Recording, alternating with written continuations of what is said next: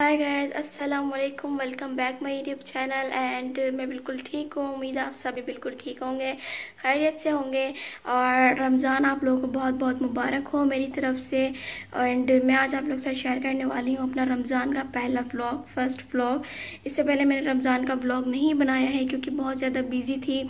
और जो है रोज़े जा रहे हैं तो उसमें रोज़े में जो है हिम्मत नहीं हो पाती कि मैं व्लॉगिंग करूँ। तो इसलिए आज मैंने सोचा पहला व्लॉग बना ही लेती हूँ और कुछ रोज़े भी थोड़े से रह गए हैं तो मैंने सोचा आज व्लॉग हो ही जाए।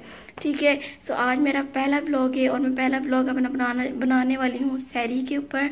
सैरी की रूटीन शेयर कर रही हूँ आप लोगों के साथ सैरी में किस तरीके से मेरी रूटीन है, क्या रूटीन है, किस तरह से मैं सैरी करती हूँ, क्या क्या क्या चीज़ें खाती हूँ और कुकिंग कैसे करती हूँ। ठीक है तो कुकिंग ज़्यादा नहीं करती हूँ, मैं ज़्यादा कुछ नहीं खाती हूँ, लेकिन जो भी कुछ खाती हूँ, वो आप लोग से शेयर करने वाली हूँ। सो चलते हैं जल्दी से उस ब्लॉग की तरफ़ अच्छा जी तो ये मैंने पराठा बनाना स्टार्ट कर दिया है। ठीक है, और जो है, पराठा बनाऊँगी, उसके बाद जो है, जिस चीज़ से मुझे खाना है, वो बनाऊँगी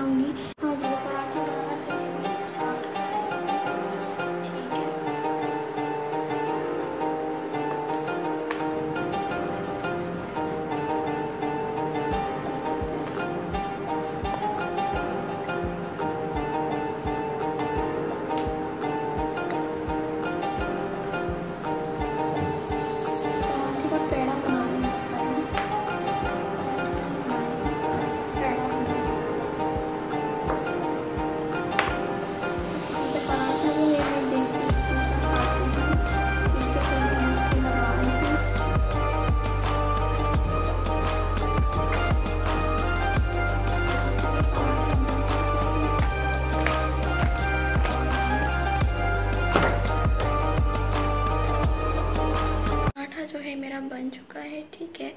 और अब जो है मैं सैरी करूँगी अपनी और सैरी में के पराठा में किस चीज़ के साथ खाती हूँ, वो मैं आप लोगों को आज बताऊँ। पराठा में मुख्तलिफ़ चीज़ों के साथ खाती हूँ ऐसे सिवाय चाय के, चाय से मैं पराठा नहीं खाती और ना सैरी में मैं चाय पीती हूँ, ठीक है? सो किस चीज़ के साथ मैं पराठा खा रही हूँ आप लोगों को दिखाती हूँ। ये मेरी सेरी जो है रेडी हो चुकी है और ये मेरा बन गया है पराठा। और इसमें मैंने रख लिया है थोड़ा सा अचार, इसको मैं हाफ़ खाऊँगी क्योंकि पूरा नहीं खाऊँगी और ये थोड़ा सा रात का पिज़्ज़ा रखा हुआ है ऑर्डर किया था। तो मैंने हाफ़ खाया था और हाफ़ रखा हुआ था तो इसको मैंने गर्म कर लिया है। एक पीस इसका खाऊँगी और हाफ़ में पराठा खाऊँगी और फिर मैं मिलती हूँ आपको सेरी करने के बाद।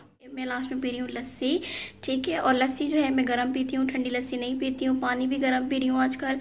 पानी भी ठंडा नहीं पी रही हूँ क्योंकि कुछ मौसम चेंज हुआ है और कुछ बीमारी चल रही है तो इस वजह से थोड़ी सी एहतियात करना लाजमी है अपनी हेल्थ के लिए, अपने आप को ठीक रखने के लिए। इस वजह से आप लोग थोड़ा सा पानी मिलती है, आपको लस्सी पीने के जो है हो चुकी है खाना पीना हो चुका है और मैंने अपनी शहरी की रूटीन भी दिखाई आप लोगों को। और क्या क्या चीज़ें मैंने खाई हैं, किस तरीके से मैं बनाती हूँ, वो सारी रूटीन आप लोगों को आप लोग के साथ शेयर की है। एंड आई होप आप लोगों को पसंद आएगी ब्लॉग एंड इन मैं अपना इफ्तार का ब्लॉग भी बहुत जल्द आप लोग के साथ शेयर करूँगी।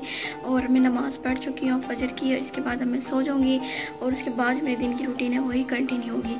सो मैं आपको मिलती हूँ नेक्स्ट ब्लॉग में, तब तक के लिए दो में याद रखिए अपना बहुत सारा ख्याल रखिए अल्लाह हाफिज़। Bye bye.